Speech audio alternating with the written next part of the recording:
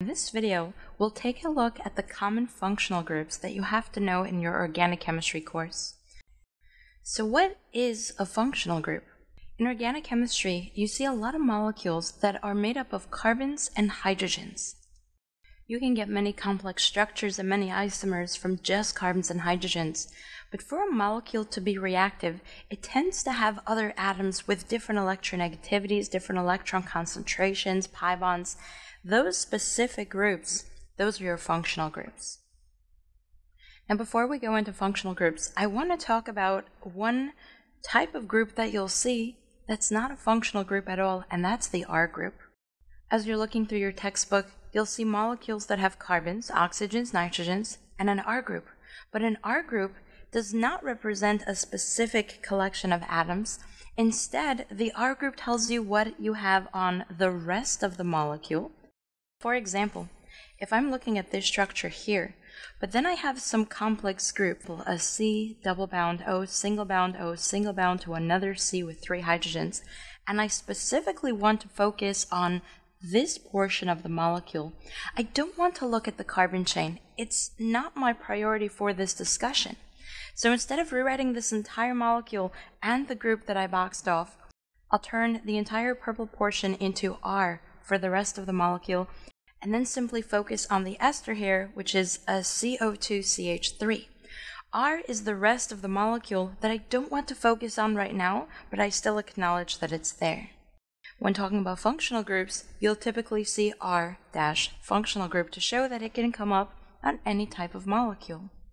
Another thing to discuss before we go into functional groups are the type of carbon chains that you're going to see, specifically the alkane, alkene, and alkyne.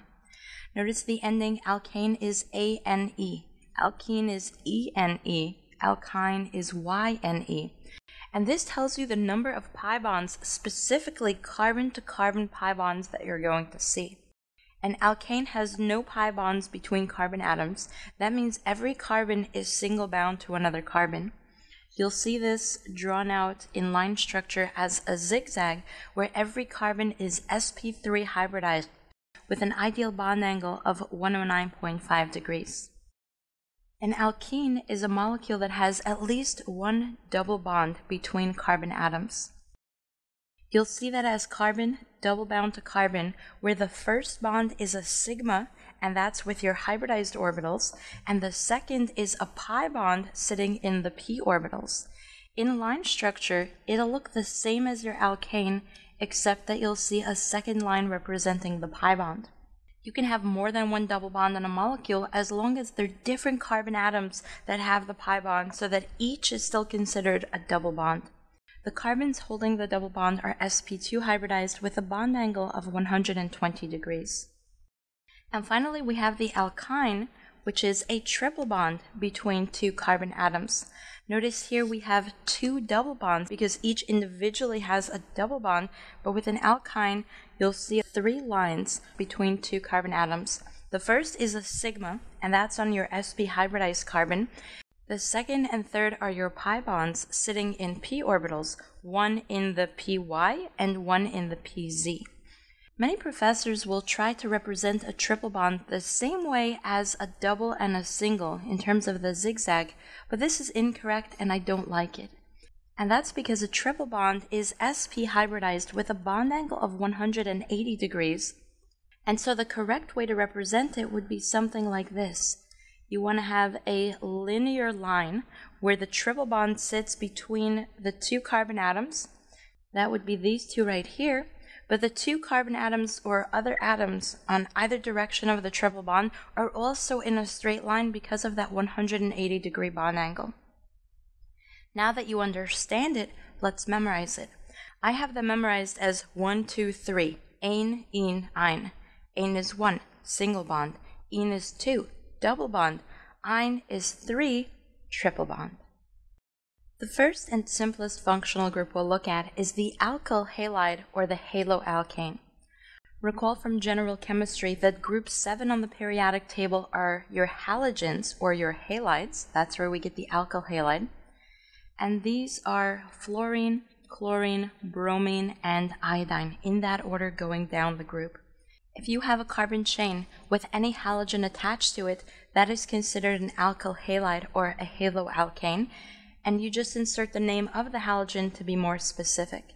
So for example, if I put a chlorine on the primary carbon here, I will get a primary alkyl chloride or chloroalkane or simply a primary alkyl halide. If I place iodine on a secondary carbon, I get a secondary alkyl halide. If you're not comfortable identifying your primary, secondary, and tertiary carbons, make sure you study my pencil trick tutorial linked in the description below. And if I place a fluorine on a tertiary carbon, I get a tertiary halogen or a tertiary alkyl halide. These are very important to understand and recognize because they will play a big role in the reactions moving forward, especially substitution and elimination reactions. The next functional group I want to look at are the amines, which have N in the word where N stands for the nitrogen atom. An amine is a molecule that has nitrogen bound to carbon, and this could be bound to one, two, three, or four carbons to give you a different type of amine. To show you the different types of amines, we'll use R to represent the rest of the molecule. If I have R bound to an NH2, remember nitrogen can have three bonds, this is considered a primary amine because it's bound to one R group. If I have R bound to nitrogen, which is bound to a second R, which we'll show as R prime, this is considered a secondary amine because nitrogen is bound to two R groups. If I have a nitrogen bound to three R groups, that's R, R prime, and R double prime, that's a tertiary amine. And these are the common ones you're going to see. But every now and then you'll see a nitrogen bound to four R groups. That'll be bound to R, R prime, R double prime, and R triple prime. If you do a quick formal charge, you'll recognize that the quaternary amine has a positive charge because nitrogen prefers to have three bonds and one lone pairs. But if and when it comes up, recognize that yes, a quaternary amine does exist. And the key to recognizing the amine functional group? Amine, spelled with an N, has the key atom nitrogen. Many of the remaining functional groups will have oxygen in them, and the key is to recognize the difference between how oxygen is attached to the parent chain. The alcohol has COH in the name, where C can be part of your R group, so if you have your R group and attached to that you have a C, an O, and an H, that's an alcohol, where the alcohol is the OH or hydroxy group. Hydroxy comes from the word hydrogen and oxygen. So if you see a carbon chain with an OH on the primary carbon, that's a primary alcohol. If the OH was on the tertiary carbon, that would be a tertiary alcohol. A similar functional group is the thiol, which you'll notice sounds like alcohol. It ends in OL, which is how you identify an alcohol, but the thi portion of the molecule represents the sulfur atom. So if we take a molecule and draw an alcohol, but now we erase the oxygen and replace it with the sulfur, this is a sulfur alcohol or simply a thiol. Recall that sulfur sits under oxygen on the periodic table, so they have very similar binding ability. The next group I want to look at is the ether, and this is one of the first confusing functional groups. An ether is represented by R, O, R, where you have an oxygen sitting in between two carbon groups.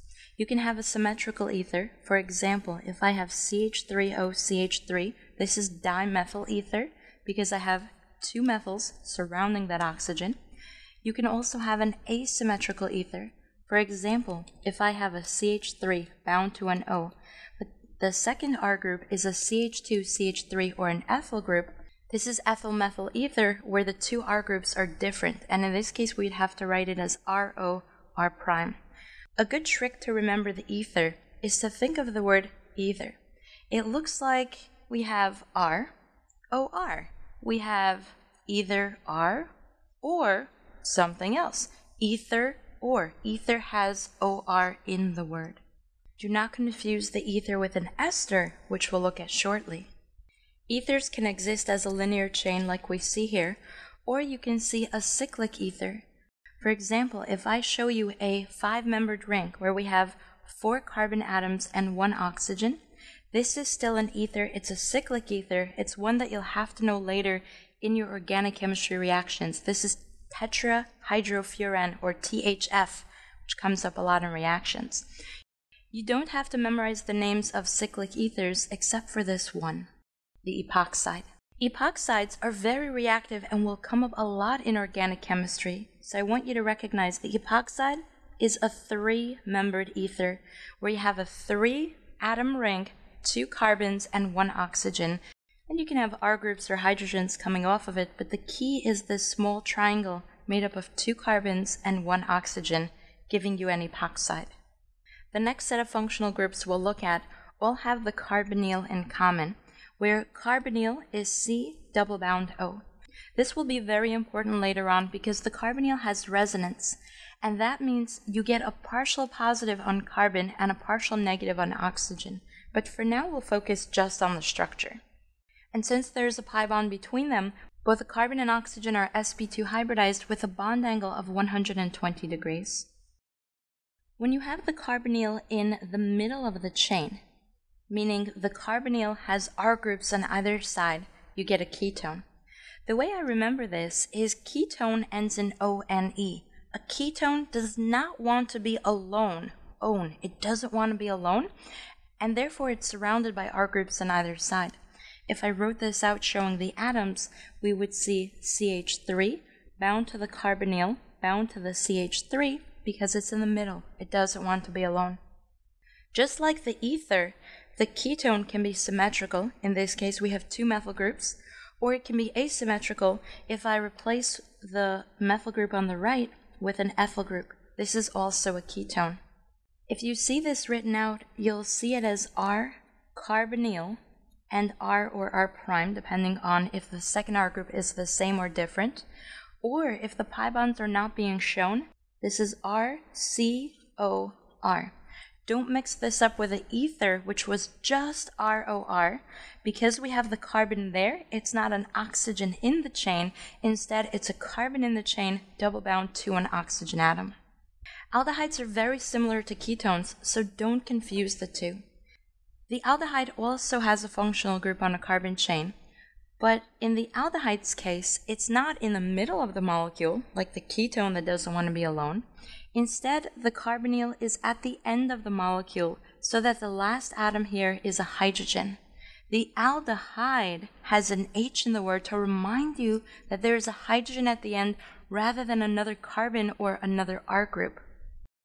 If we write this out, we have CH3, CH3, CH2 for the propyl group, then we'll have C double bound O for the carbonyl, and H for the aldehyde. If you want to write this out in simple terms, it'll be R carbonyl H instead of R carbonyl R prime like the ketone. Or we can write it out even simpler RCHO. This is another source of confusion for students I want to make sure you understand. RCHO has the carbon, then the hydrogen, then the oxygen, telling you that it's carbon, then bound to hydrogen. The hydrogen sits on the carbon, and then the oxygen has to come back and be written on the carbon. Don't confuse this with the alcohol, which we showed as RCOH. If it's O then H, it's an alcohol because you have a carbon followed by hydroxy, OH.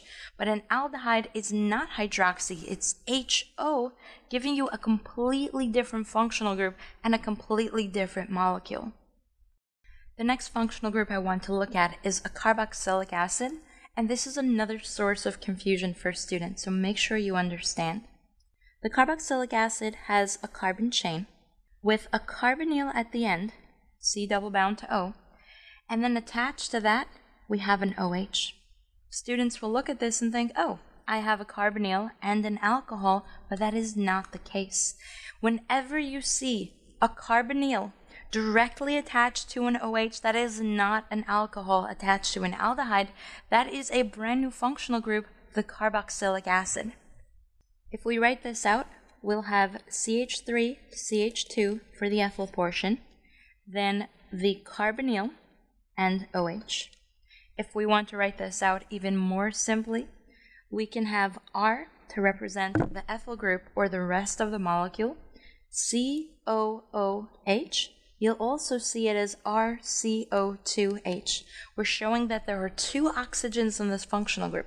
One oxygen sitting on the carbon in a double bond, the second oxygen sitting on the side as an OH. As you'll see late in organic chemistry too, carboxylic acids can be reacted so that the OH is swapped for another group, and those are your carboxylic acid derivatives, giving you a whole new set of functional groups. The first one we'll look at is what happens when we take that OH on the carboxylic acid and replace it with an OR. This molecule is called an ester. For example, if we swap this R group for a CH3, we'll have CH3, CH2, C double bound O, single bound O, single bound CH3 for a methyl ester because it's a methyl sitting on the longer parent chain. If you want to write this out the short way, the ester is RCO2 R prime.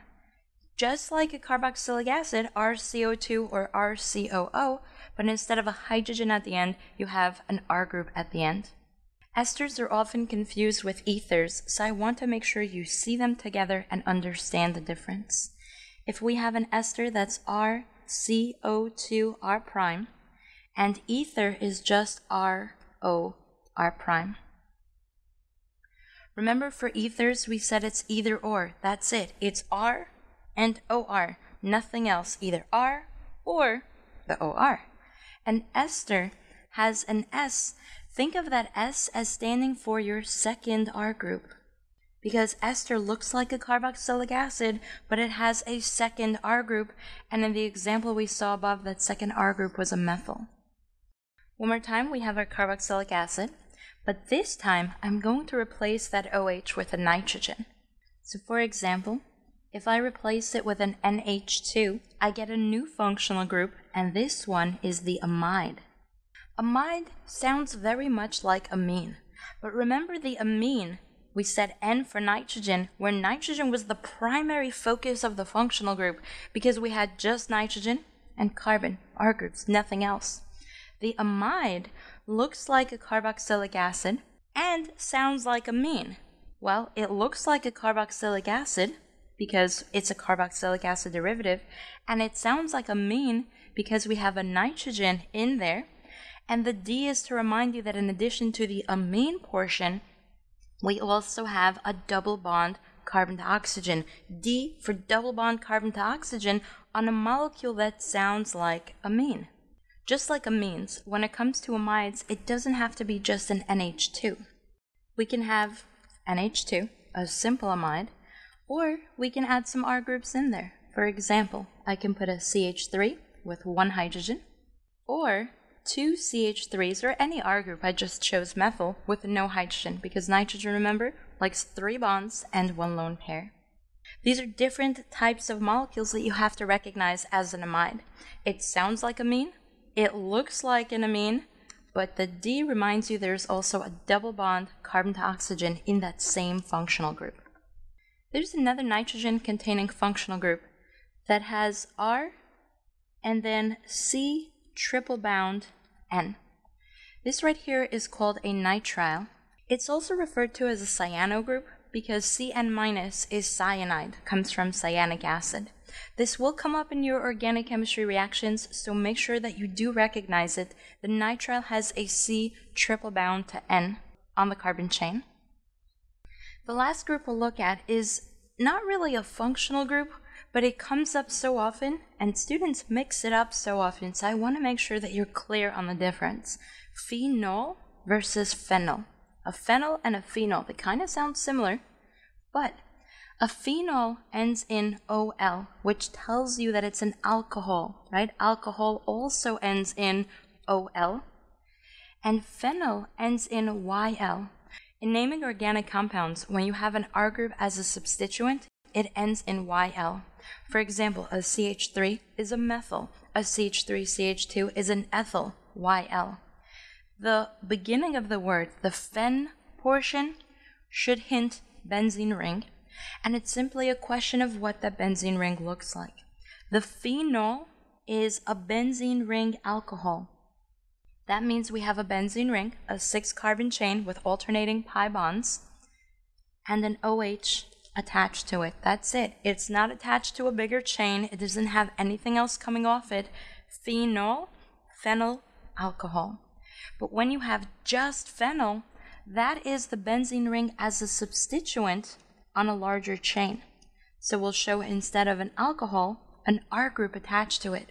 So if you have a giant molecule with a benzene substituent, that substituent is a phenyl, YL substituent, not to be confused with a phenol, which is a benzene ring alcohol. I hope this video helps you not only understand what to look for in functional groups, but also gives you a couple of tricks to help you memorize them. First thing I want you to do, give this video a thumbs up and leave a comment below letting me know if it helped you and which mnemonic you liked best. Then make sure you visit my website, leah4sci.com slash naming, so that you can download my free full color functional group cheat sheet, as well as try the practice quiz. And then start working through the naming series, showing you how to tackle each functional group, including IUPAC and common names. The link again is leah4sci.com slash naming.